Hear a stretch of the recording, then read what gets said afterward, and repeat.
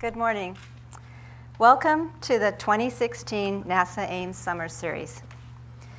We are very honored today to have a very special guest. Today's presentation will be given by the Honorable Norman Mineta, former cabinet member under former President George W. Bush and former President Bill Clinton. Mr. Norman Mineta served as the 14th Secretary of Transportation under President George W. Bush and is the longest serving secretary in the Department of Transportation's history. As Secretary of Transportation, Mr. Mineta was the point of contact for all aircraft during the September 11, 2001 attacks, issuing an order to ground all civilian aircraft traffic for the first time in U.S. history. Prior to serving under President George W. Bush, Mr. Mineta served under President Bill Clinton as the 33rd Secretary of Commerce. Between 1971 and 1975, Mr. Mineta served as the 59th mayor of San Jose. From 1975 to 1995, he sat in the United States House of Representatives, representing California's 13th and 15th districts. During World War II, the Mineta family was interned for several years at Area 24, 7th Barrack, Unit B, in the Heart Mountain internment camp near Cody, Wyoming, along with thousands of other Japanese immigrants and Japanese Americans. Mr. Mineta was a driving force behind the passage of the Civil Liberties Act of 1988, which officially apologized for and redressed the injustices endured by the Japanese Americans during World War II. Mr. Mineta is also a former vice president of Lockheed Martin Corporation. Mr. Mineta graduated from University of California, Berkeley School of Business Administration. We are very pleased to welcome Mr. Mineta here today.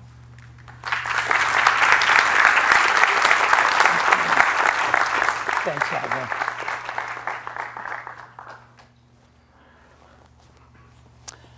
Olga, thank you very much for your wonderful uh, introduction. I, um, having been born and raised here in San Jose, California, I'm really pleased to be here at NASA Ames Research Center. There were times during my 11 terms in Congress that I came here to NASA Ames uh, a number of times uh, because the center director was Hans Mark, and Hans and I were students together at uh, Berkeley. so that friendship carried on from Berkeley to here, and then when he became Assistant Secretary of the Air Force, and, and I remember when I was a member of the House Intelligence Committee, and uh, he had told me he was coming as the Assistant Secretary of the Air Force, and we were having a hearing of the House Intelligence Committee, and Hans was there, and I said, Hans, what are you doing here? He said, Well, I couldn't tell you why I was here. And in those days, the word NRO was classified, as well as the uh, National Reconnaissance Office. So outside the committee room, we couldn't even say NRO or National Reconnaissance Office, and found out that he was the head of the NRO uh, when he came to uh, DC. Well, I am not a scientist by background. When I was in high school, my dad, who had been in the insurance business from 1920, said, You know, I want you to join me in the insurance business. And I said, No, no, Papa, I want to be an aeronautical engineer. So I started at Berkeley in aeronautical engineering. Took uh, calculus, and then I decided for the safety of the country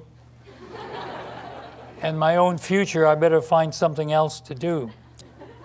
So I ended up in the insurance business, served, uh, graduated from Berkeley with an ROTC commission. The Korean War was going on and went straight overseas to Korea and then transferred to Japan and from 54 to 56 and then came back and joined my dad in the insurance business in 1956.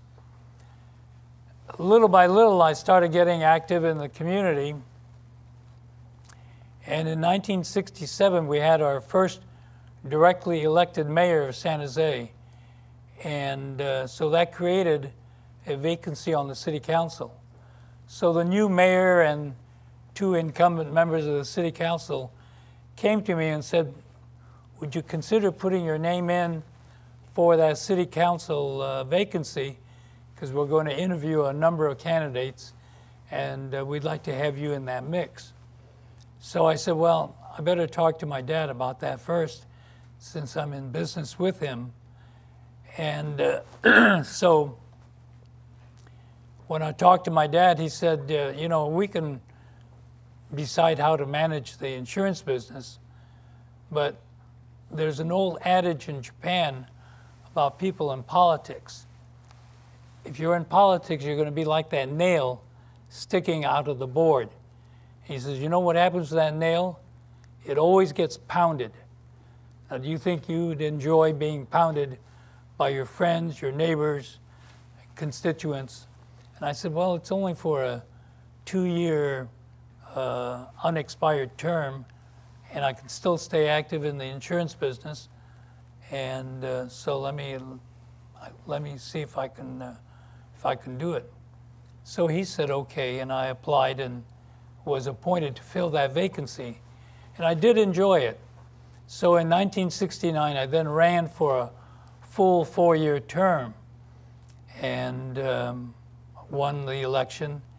And then in 1971, the mayor who had been elected in 67 decided not to seek reelection. And by that time, I had been the uh, vice mayor of San Jose, and a lot of people said, run for mayor. So I did, and I was elected in uh, 71 as mayor. Uh, and I really enjoyed it because we were making that transition from an agricultural community to high tech. So when I first became mayor, population was about 320,000. And in that four years, it had risen to 580,000. So whenever you see a city grow, you want to see it grow gracefully and not without warts.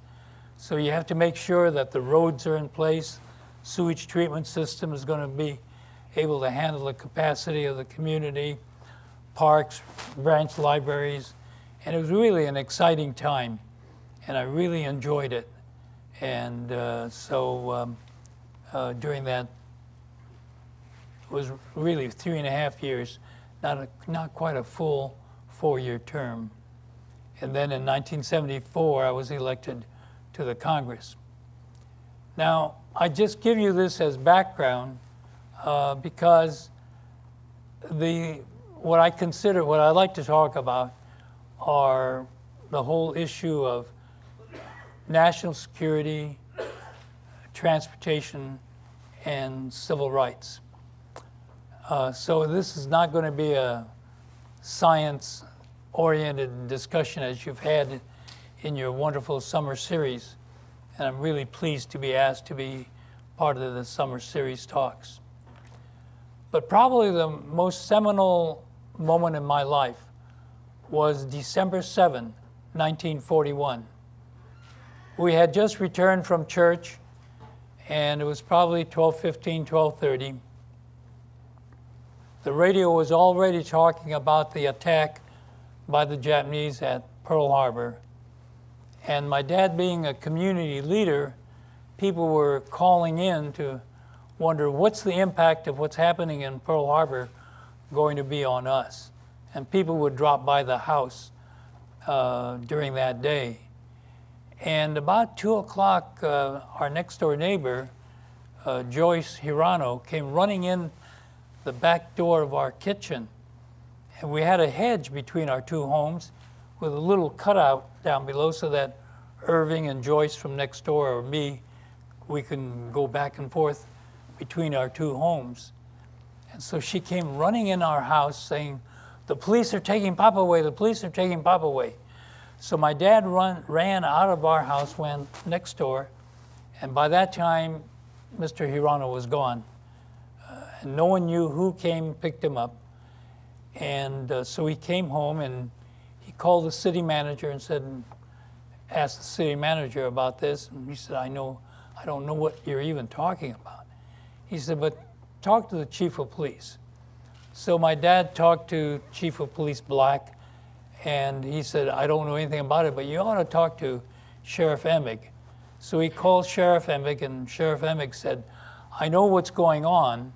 It's not my operation, it's FBI, and I'll talk to the FBI and have them come talk to you.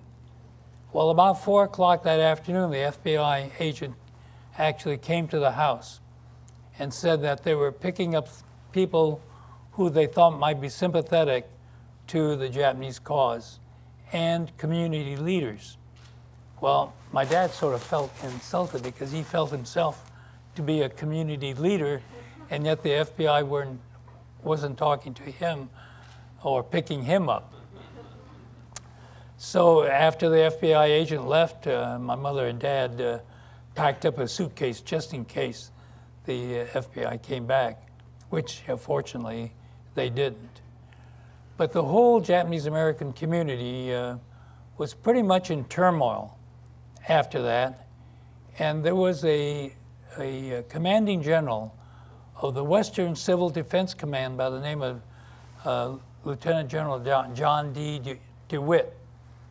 And uh, that covered Washington, Oregon, California. And he had coined the phrase once a JAP, always a JAP.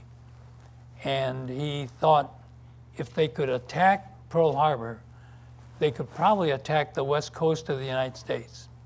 And if they attack the west coast of the United States, what am I going to do with 120,000 people of Japanese ancestry living in Washington, Oregon, and California?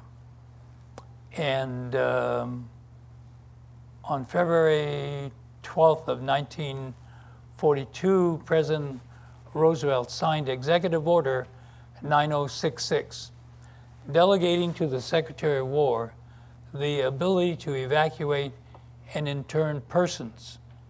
It didn't say German, Italian, or Japanese, just said persons.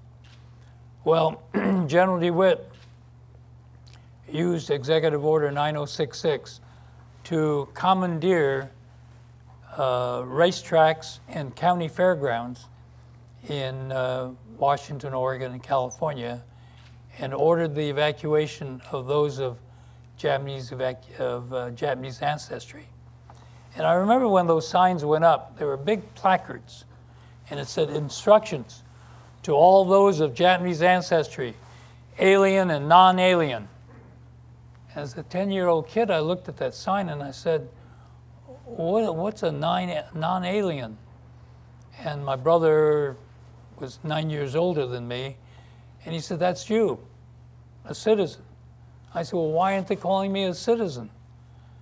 Now, I'm not sure when the last time any of you stood up, pounded your chest, and said, I'm a proud non alien of the United States of America.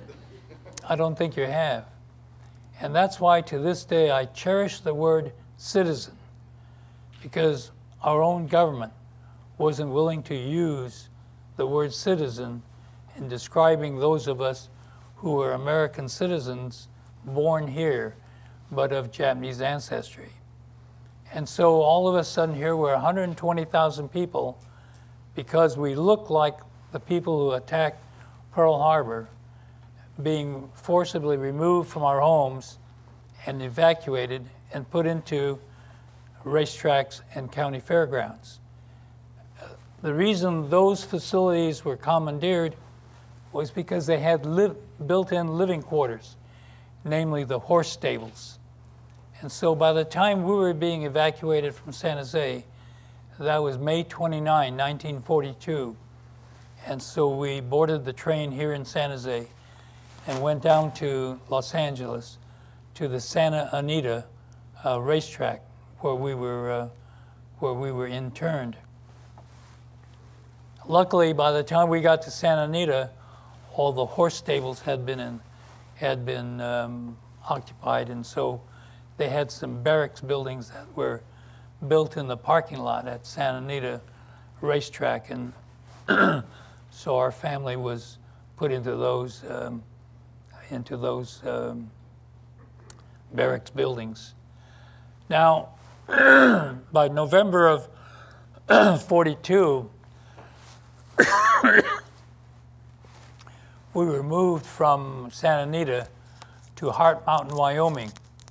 And Heart Mountain is about 20 miles east of Cody, Wyoming, and Cody is about 25 miles east of Yellowstone National Park. And so, excuse me, so we got there in November of 42, cold, blustery day, and uh, that's, that sand was pelting our faces, and oh, thank you. And the, um, the sagebrush was uh, tumbling along, and being Californians, we, we just weren't uh, used to this kind of California or Wyoming weather.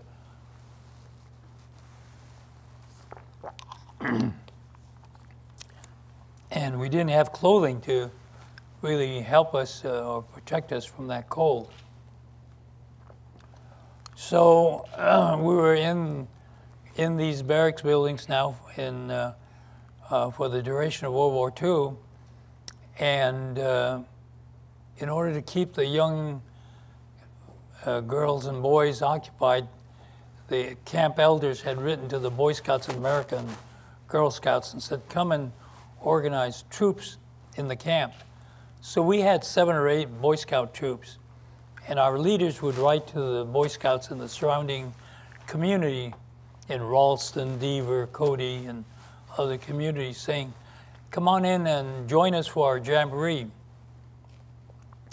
And they would write back and say, oh, no, no, we're not going to go in there. There's barbed wire all around the camp. There are military guard towers every 300 feet with searchlights and machine guns. Uh, those are POWs. We're not, we're not going to go in there. And our scout leaders write back and say, no, no, these are not POWs. They're Boy Scouts of America. They wear the same uniform you do. They read the same manual you do, and they go after the same merit badges you do. And so eventually a troop from Cody, Wyoming came in, and we had our knot tying contests and our woodworking contests and how to start a fire without a match and all those things that Boy Scouts do. And then we got paired off with a with a kid from the Cody Boy Scout troop. And so this kid and I put up our tent. And in Wyoming, it could rain a lot or not rain. And so, in order to protect your tent, you build a moat around the tent. So, this kid and I build our moat. Then he said, There's a kid from my troop in that tent below us, and I don't really care for him. Would you mind if we cut the water to exit that way just in case it rained? And there was really no skin off my nose, so I said, Sure. So we built a beautiful moat cut the water to exit that way. And as luck would have it, it started raining that night. and our moat worked perfectly, and water drained down there. During the course of the night, that tent came down. The tent pegs pulled, tent came down. The kids in my tent with me going, hee hee hee, ha ha ha ha, ho ho ho, laughing all night long.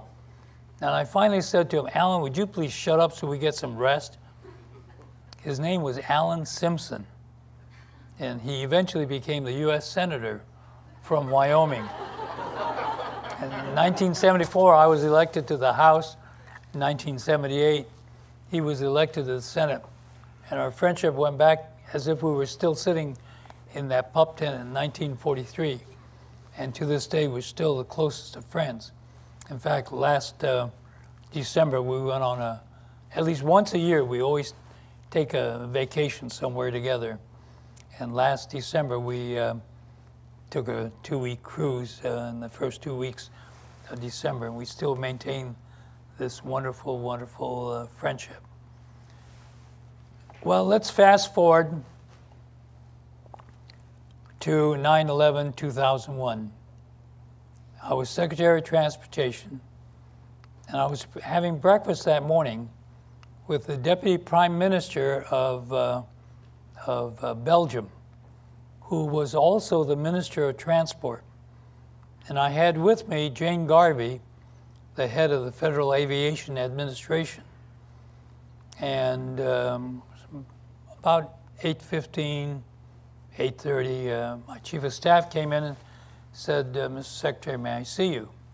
So I excused myself, went from the conference room into my office, and at the other end of the office was a TV council, recognizable World Trade Center building, black smoke pouring out. I said, What's all that about? He said, We don't know. We've heard the possibility of general aviation into the building, commercial aviation into the building, or an internal explosion inside the building. So I looked at the TV and did some channel surfing, listening to the commentary. So I said, John, keep me posted. I'm going back into the breakfast. So I went back in and explained to Mrs. Durant and to Jane Garvey what I had just seen on TV. Seven, eight, ten minutes later, he came back in and said, May I see you? So I went back into the office. And he said, um, It was a commercial airliner that went into the World Trade Center. So then I went up and I started listening to the commentary and watching the news.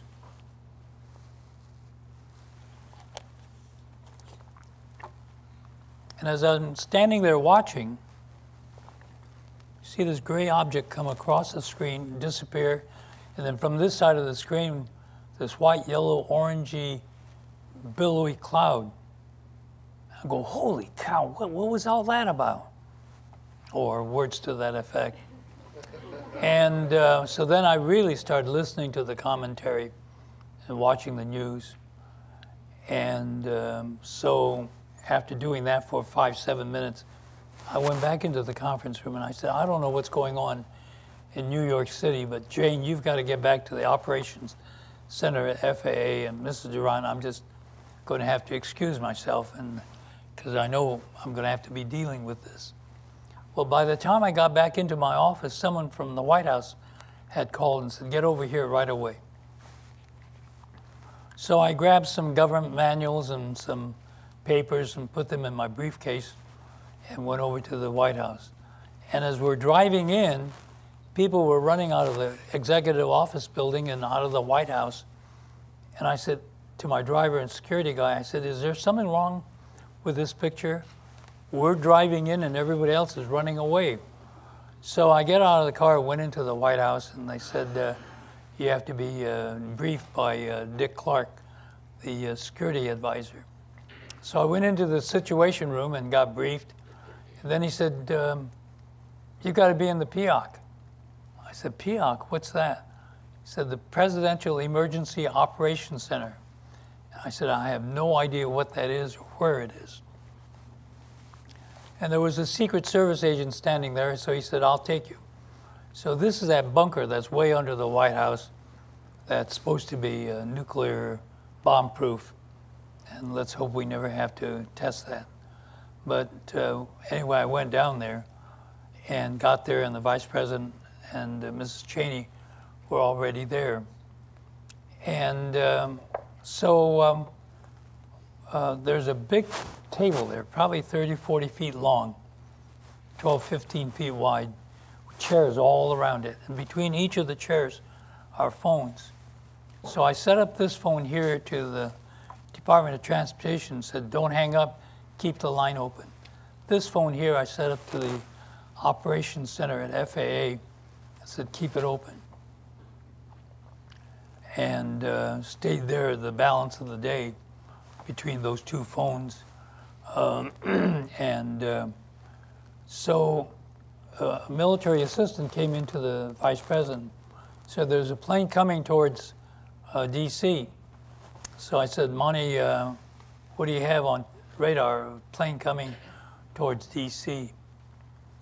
Monty had been uh, started at FAA as air traffic controller and had risen over the years. Now was the number two person within the FAA. And uh, so he said, Well, we're, we're, tracking one plane, but the transponder has been turned off. So all we're doing is following the blip on the radar, and we don't know anything about the plane.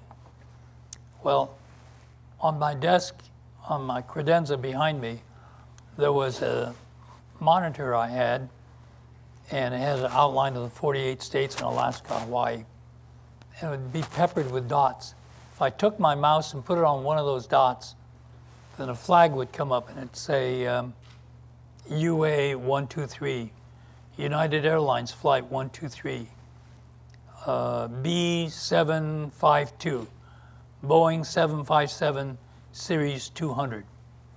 And then it would say uh, PVD and the number of navigational points ORD. So that meant left Portland, flying these navigational points, final destination O'Hare at Chicago.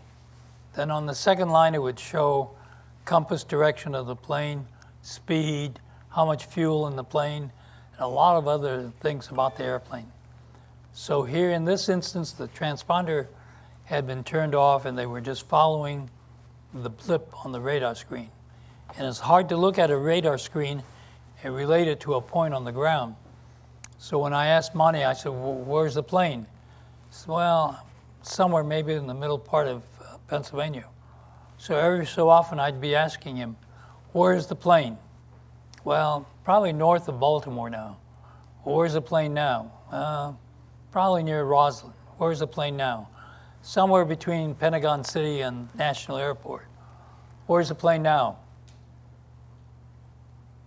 Monty, where's the plane now? Mr. Secretary, we just lost the, the bogey. Where'd you lose it? Somewhere between Pentagon City and National Airport. And then about that time, someone broke into the phone and said, Mr. Secretary, we just got a phone call from an Arlington County police officer who saw an American Airlines go into the Pentagon. And I said, Monty, that's the third commercial airliner used today in the last two hours as a missile.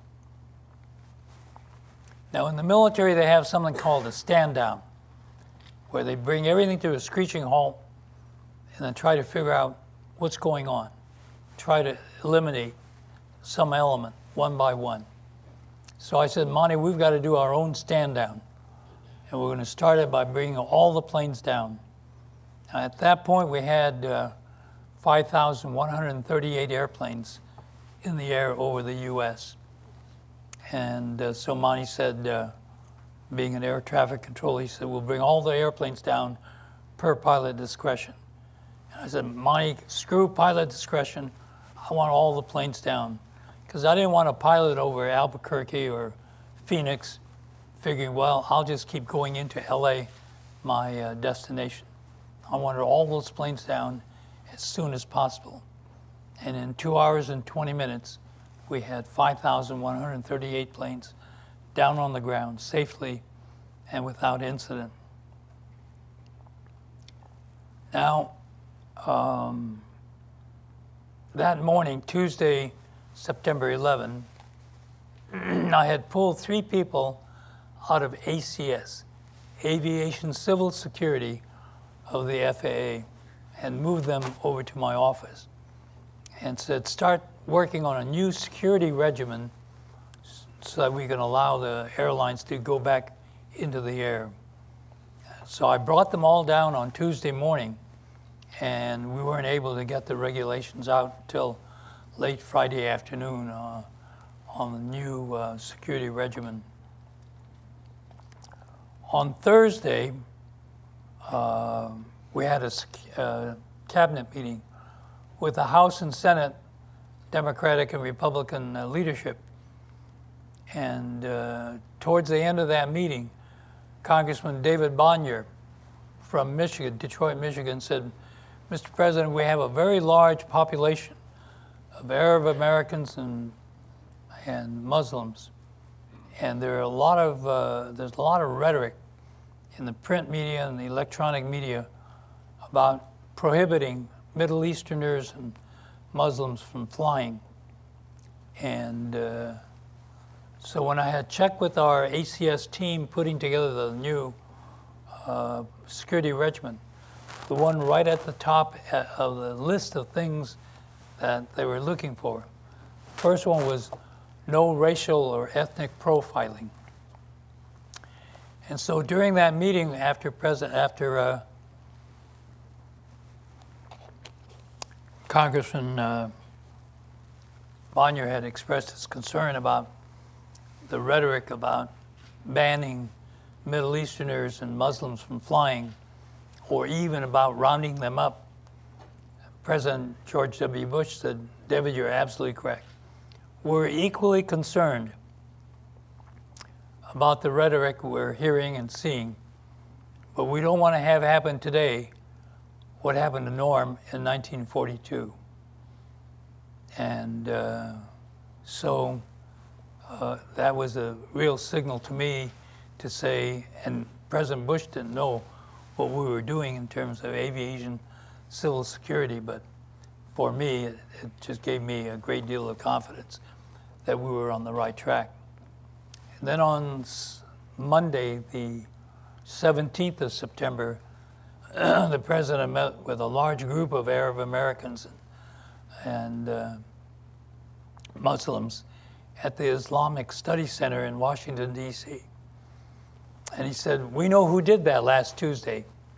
They weren't loyal Arab Americans, they weren't faithful followers of Islam, they were terrorists, and we're going to go after them.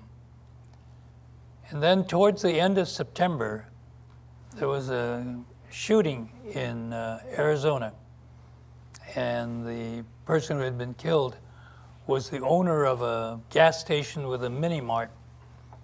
And when they apprehended the killer, they asked him, Why'd you kill the, the owner of this uh, gas station mini mart? He said, Because he looked like the enemy. He was a Sikh, and he had a turban, facial hair, leg bindings. And his sole explanation was he looked like the enemy. And uh, so again, here we saw traces of people making judgments on their own based on what I had experienced in 1942 the fact that I looked like the people who had bombed Pearl Harbor. So, what we have to do is to make sure that as we're doing as we're doing things to ensure our national security, that we also are doing things to protect our own civil liberties. All of us have to be vigilant in the protection of our constitutional rights. We don't have to be vigilantes, but we do have to be vigilant in the protection of our constitutional rights. And so when I think of December 7, 1941, September 11, 2001, and then with all the tragedies uh, that we see and hear about in the in the print and electronic media, uh, it just um, makes me sick about what's happening. So all of us have to be protective about our constitutional and civil rights, but we also have to make sure that we're not making judgments about others.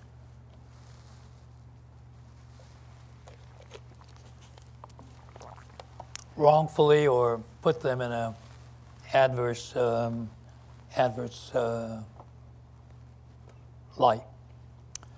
So maybe uh, at this point, uh, Dr. Jake uh, Cohen, uh, I'll stop the, my uh, talk and open it up to questions that you may want to ask. And um, so, Aga, are you going to moderate this yes, Q&A well, period? First of all, we want to thank you, Mr. Mineta, for that fascinating.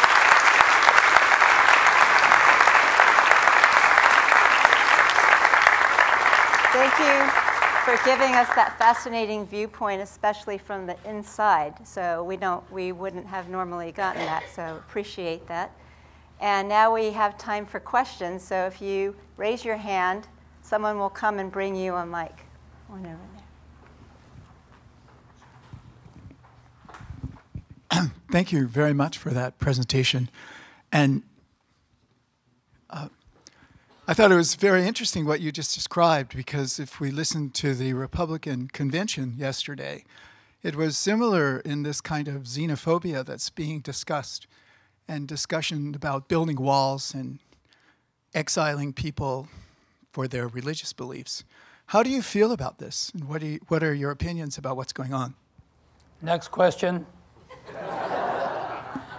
Well, uh, I think really, first of all, um, I don't want to get into any partisan politics, but I sometimes wonder after hearing a lot of this, hearing the rhetoric and reading the press, I wonder what, what progress have we made? Are we reverting back to the 50s and 60s today? And that's why I say that we have to be very careful about protecting our own constitutional rights and uh, making sure that what our judgments are, are uh, don't reflect negatively. This country, to me, is a great country, and it was put together from, even from the Constitution. Remember, it says to form a more perfect union. So democracy is not a static uh, event. It's something that's evolving. It's something that's growing. And we, we make in our democratic society, with a small d, we make, a, uh, we make progress. And that whole progress is to form a more perfect union. And uh, so it does uh, alarm me in terms of some of the rhetoric that's going on. And uh, so it makes us uh, have to be that much more careful about what we're hearing and, and uh, seeing. And uh, so it's um, all elections are critical, but it seems like 2016 even becomes even more critical.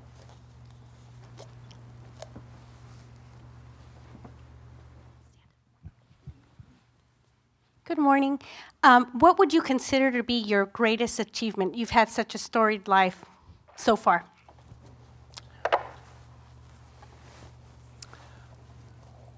Um,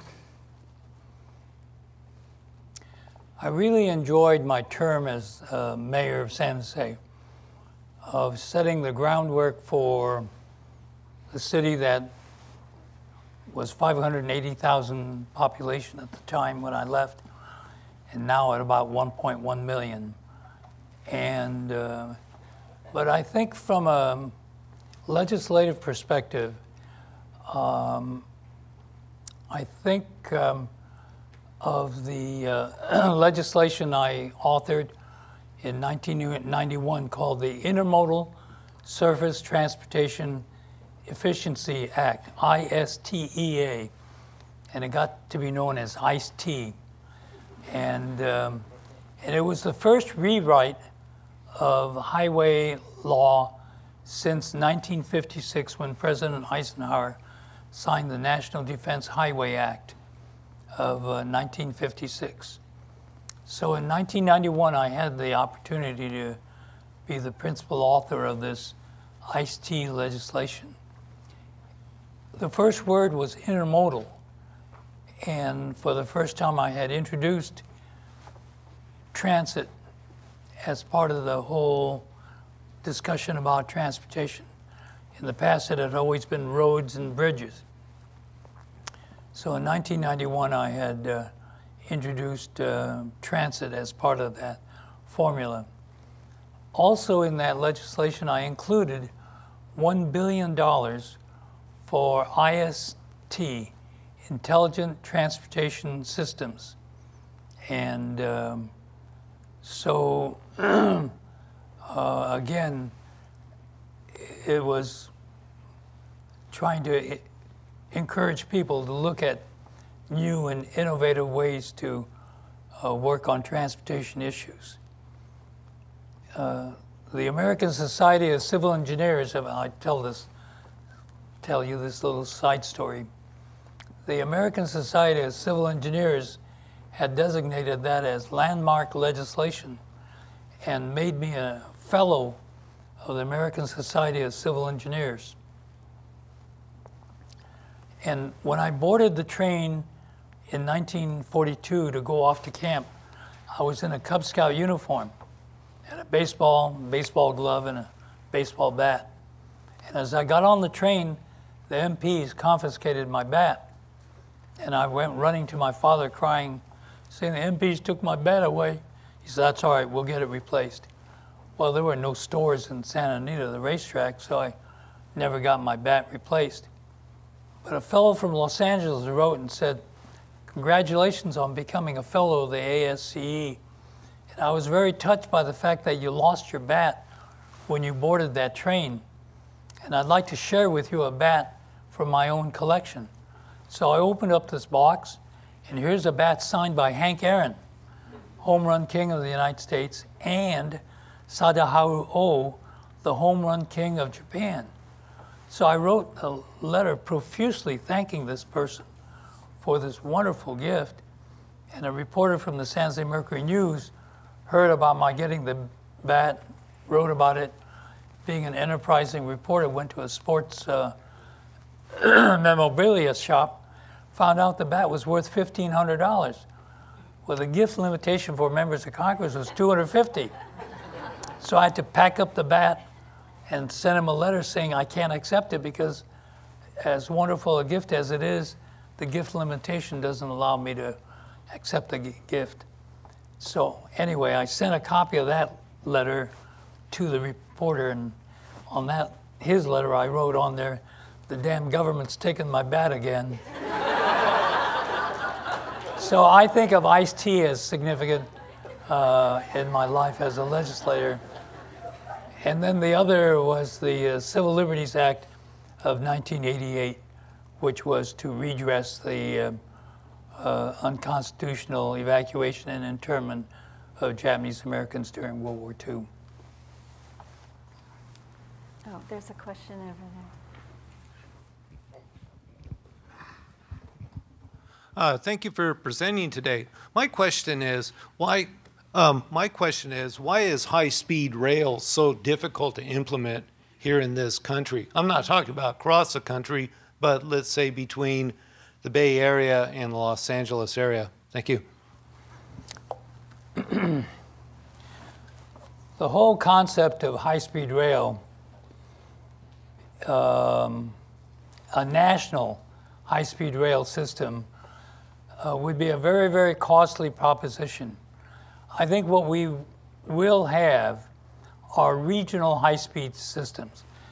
Uh, let's say San Diego to San Francisco, uh, Portland to uh, Vancouver, British Columbia through Seattle, probably um, the Midwest in terms of uh, Detroit to Chicago, down through St. Louis to uh, New Orleans, uh, something in Texas, something in Florida. Um, but I don't think we'll have a national high speed rail system, but we will have regional high-speed rail systems. The other thing is that we have got to educate ourselves and uh, also from an engineering perspective. The U.S. definition of high-speed rail uh, varies or is very different from what uh, our um, uh, friends who have high-speed rail. Our definition of high-speed rail is 150 miles an hour. In Japan, it's uh, 250, and they're now building a maglev system to go 350 miles an hour system. It'll go from Tokyo to Nagoya, and it'll take 45 minutes at 350 miles an hour. Uh, France has 250 miles an hour, and Germany, Switzerland uh, as their standard. And they run their high speed rail on dedicated tracks.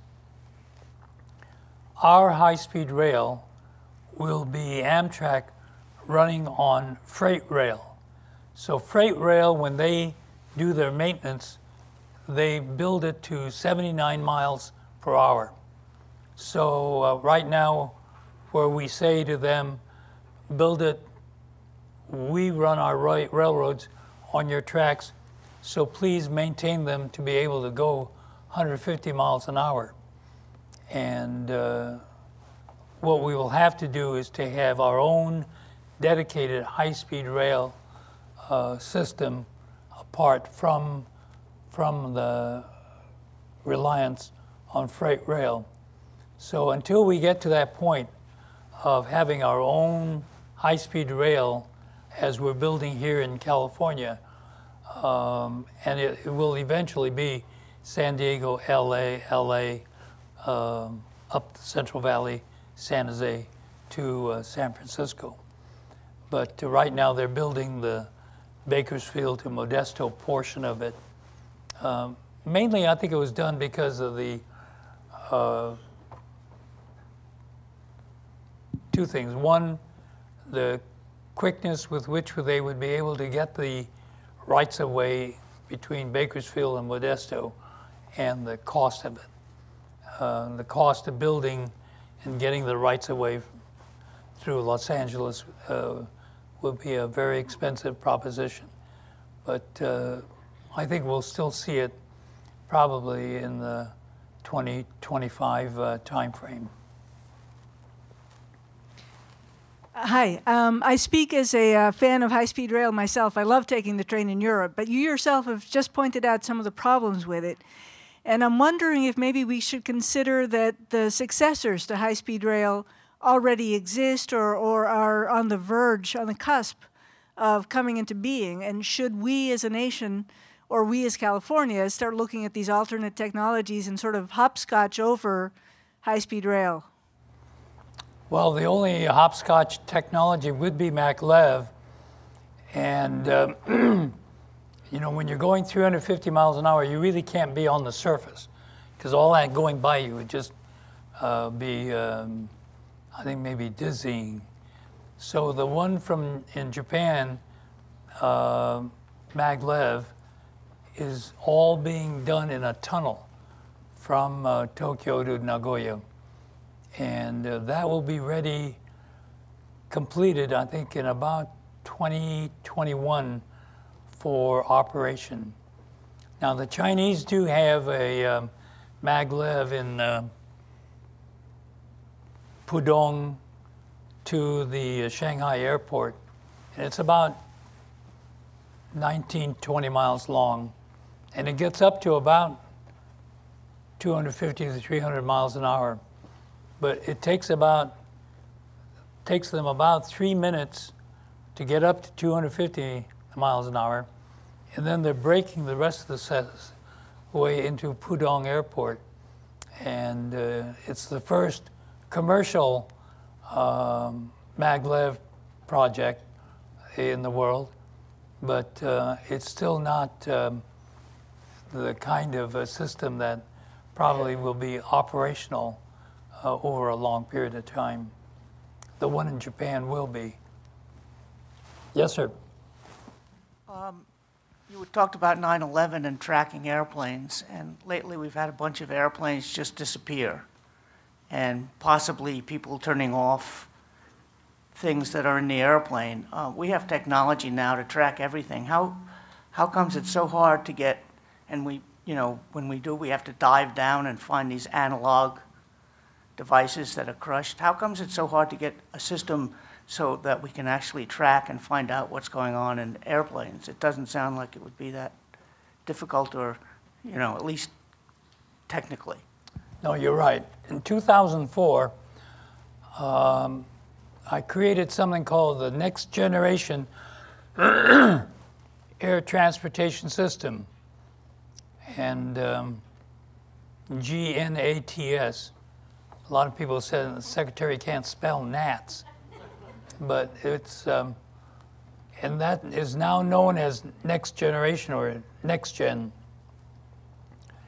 And what we were trying to do then was to go from ground based radar to space based. And um, part of it became budgetary. Uh, part of it became um, resistance from the unions about moving to space based.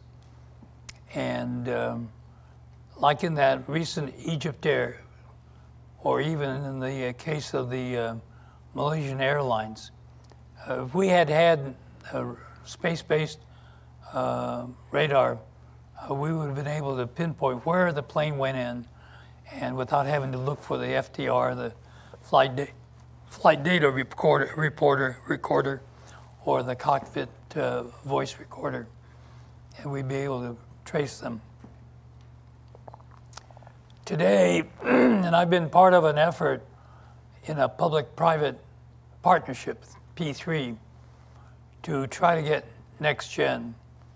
And we've raised over $2 billion to build satellites to uh, house this ADSB receiver uh, for or transmitter for for space-based uh, air traffic control. The FAA is still fighting us on this. NAV Canada, a private uh, nonprofit air carrier air traffic management force, has put some 60 million of their money into it. The UK, uh, the Europeans have. And so now we will be launching our first satellite in uh, July out of Vandenberg to start this series of 66 balls in the air satellites for, for um, space-based air traffic control. The Europeans are part of this, and so when they're using it, the uh, distance between aircraft will be five nautical, five nautical miles. But when they transfer that aircraft to U.S. control, then the planes are going to have to go to 13 nautical miles of distance. So that means that U.S. when the planes are coming into U.S. territory, they'll have to slow down and, and increase that distance between the airplanes. So we're hoping that the, uh, the 66 ball system will be up in about a year and a half and we'll be able to uh, get um, greater air traffic management uh, system in place. As all of you know, uh, you're also working on air traffic management here at uh, Ames.